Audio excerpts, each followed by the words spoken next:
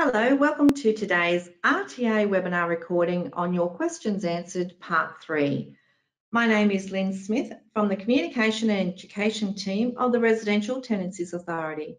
Today's recording is going to run for approximately 12 minutes and at any time you can pause and watch the video at your own pace or choose the topic of interest for you.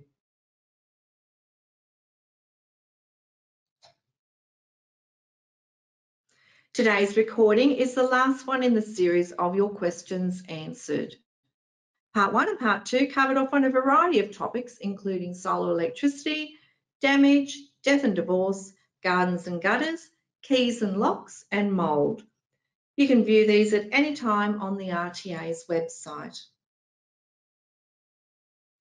So in finalising the series with part three, today's topics will include smoking, and the reasonable expenses incurred when subletting and transferring a lease, hoarding and squalor and where to get help, light bulbs and who's responsible for what, and the timeframes for applying to the Queensland Civil and Administrative Tribunal.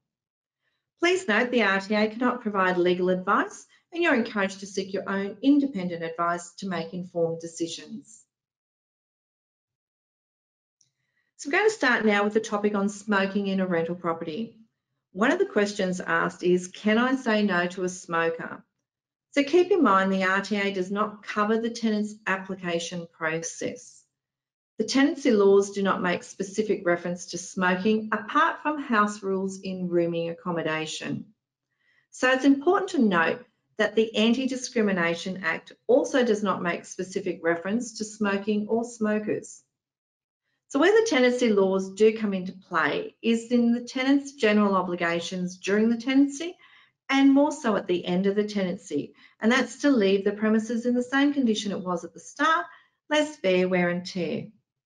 It's important to note that the stains and odour caused by smoking may not be considered fair wear and tear. So any damage or deterioration by the smoking could be seen as the tenant's cost to rectify. Another question asked in this topic is, can I write a special term in the agreement that says the tenant cannot smoke inside the property? Well, yes, you can. Always be cautious in writing any special term that you make sure that you don't contradict the tenancy laws. So for subletting or transferring reasonable expenses, to cover this topic, I just want to read to you what section 240 of the Act states. And it says that the lessor lessor's agent must not require the tenant to pay or accept from the tenant an amount for the lessor's agreement to a transfer or subletting by the tenant other than an amount for the reasonable expenses incurred by the lessor in agreeing to the transfer or subletting, and that there is penalties applying to this particular section. So what does that mean? So let's have a look at an example. So say there are three tenants living in the property. Two are going to stay on and one is leaving. They're going to be moving out and transferring his or her responsibility to the other two remaining tenants. The owner would be in a position to seek reasonable cost. And this would be seen as like an administrative cost to cover the expense of, say, changes in the agreement, changing the bond over, assessing the two remaining tenants that they can still afford the rent. In this situation, this is not a full relet of the property. It's a transfer, not a full let, which would require advertising and showing the property to prospective tenants. So questions asked have been around what is a reasonable fee? And this could vary. So there's no hard rules on this. However, from what we have seen in the sector, it could be an expense, and again, it's an administrative expense, ranging from say $50 to $180. It could be less, it could be more. It should be done on a case by case basis. And what's the reasonable expense involved in doing the transfer? I just also want to point out, remember section 61 of the Act states that the costs in preparing the agreement are payable by the lessor. So remember, there is a difference between a reletting fee, which would occur, say, in like a lease break situation where the agreement ends early, and a reasonable expense in transferring or subletting where there is a change in the names on the agreement. On this next slide, I just want to talk to you about or raise awareness of hoarding and squalor and where to get help. Hoarding is where someone may have difficulty getting rid of possessions or may collect and keep a lot of items in their home. Even though to most other people the items may be useless or considered garbage, to the person it's extremely difficult for them to let go of their collection they've gathered over a period of time.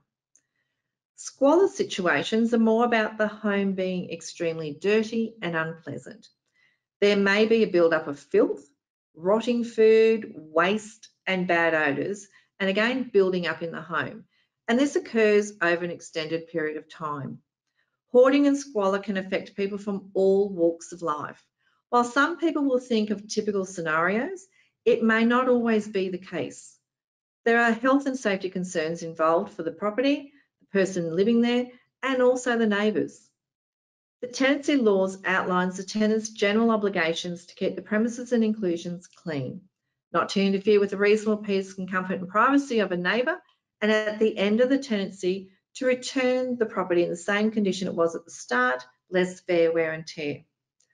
Hoarding and squalor is a complex situation and the persons re will require support and assistance. You can speak with your local council member, or in most cases, there are local community organisations who can provide specific support in these situations. It's not about having someone come in and just clear everything out. It doesn't work like that. And as I said before, it is complex and our advice is to speak with someone qualified to provide the many layers of support to help the person and then look to have a plan on addressing the situation. We also know that Q Shelter has a booklet as part of their Creating Sustainable Tenancies resources, and it's on working with people affected by hoarding and squalor. So you can go to their website at qshelter.asn.au or search for your local community organisation specialising in this area. So let's have a look at light bulbs. The RTA receives questions along the lines of who pays for the light bulbs. The Act outlines general obligations for both the owner and the tenant. The owner's obligations to do repairs and maintenance and the tenant's obligations to ensure the property is returned again in the same condition it was at the start, less fair wear and tear. It's normally seen in the rental sector that the general bulbs, the standard ones that are throughout the home or the not expensive ones are the tenant's responsibilities to change. The property owner should consider any risks and whether there's specific equipment required. So as an example, if I've got a very high ceiling that might be two or three stories high, the tenant might require an extension ladder to replace the bulb, and that's something that a tenant may not have access to. For specialised fittings or something that is unique, uh, like a unique globe or difficult to source, it could be generally seen as the owner's responsibility. Again, I refer back to the Act and the tenant's general obligations. If the lights are working at the start, then they should be working at the end of the tenancy. You can have an agreement up front on who does what. So you can have a special term about any specialised or expensive globes. And this is very general information and we do encourage good communication between property owners and managers and tenants. And finally, a reminder for the timeframes in applying to the Queensland Civil and Administrative Tribunal. The Act outlines urgent and non-urgent applications. So urgent applications such as your termination order or warrant of possession, hardship or objectionable behaviour, you go straight to QCAT. So for non-urgent matters, for your compensation or bond matters, you need to apply to the RTA's free dispute resolution service first. If it's not resolved through the conciliation process, you'll be issued a notice of unresolved dispute to proceed to QCAT. For non-urgent tenancy matters or your compensation, you have a six-month timeframe to apply from when you're aware of the breach or the event. And that means firstly applying to the RTA's dispute process first before you actually apply to QCAT. For bond disputes, which is usually a response to the notice of claim process for the bonds, once conciliation has been completed and if it's not resolved, you will be issued the notice of unresolved dispute. You then have seven days to apply to the tribunal and inform the RTA of your QCAT application in writing. It's a two-step process. You need to apply within the seven days and also inform the RTA within the seven day time frame. So whether it's a tenancy matter or a bond matter, do not leave everything to the last minute, particularly bond applications. It's a short time frame to get your application into QCAT. So have everything ready to go once you receive that notice for your application. Your applications, fees and information about applying can be found on the QCAT's website. That's qcat.qld.gov.au. And again, timeframes for hearings depends on your regions across Queensland. You can also check in with your local tribunal to see how long it will take for your hearing to be heard. Keep connected with us by subscribing to the RTA News and you can also link in with us on the RTA through LinkedIn. We hope you've enjoyed the final of the RTA's three-part series of your questions answered. The RTA is here to help you and everyone involved in the tenancy. And the RTA's website has a lot of information and resources available for you. We encourage you to be informed and know your rights and responsibilities.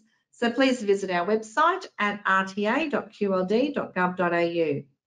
The RTA Web Services for bond matters includes lodgements and refunds, is available 24 hours a day, seven days a week.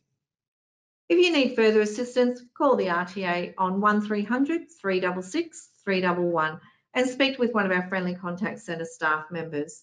We're available Monday to Friday, 8.30am to 5pm. Thank you for your time today.